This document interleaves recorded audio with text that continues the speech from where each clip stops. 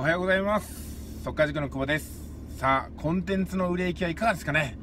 まあ、あの金額ではないんですよ。売れていくとですねこの売れる感覚をつかめると金額を上げた時も結局一緒ですからね。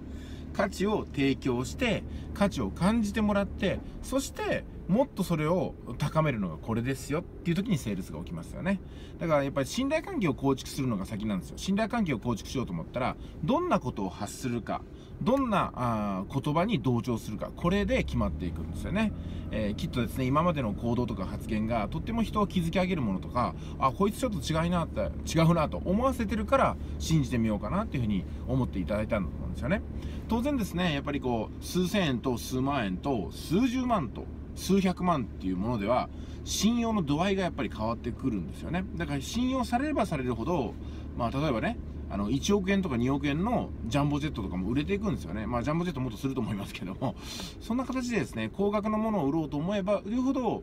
まあ、普段ね、どんな暮らしをしてるかとか、どんなことを思い描いてるか、どんなことを発信してるかってことになってきます。だから、発信がすごく大事なんですよね。えー、とても最近は記事も整ってきたんですけども、まだ、えっ、ー、と、タイトルとですね、一番最後の、えっ、ー、と、本文のね、ラストのところが、ちょっと辻褄が合わなかったりするんで、そこを気をつけてもらったらいいと思います。いつもですね、タイトルに一貫した起承転結を書いて、その一番最初の結っていうのは、結論っていうのは、タイトルそのもので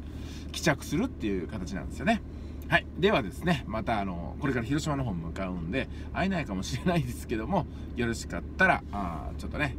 こうメッセージくださいね。失礼します。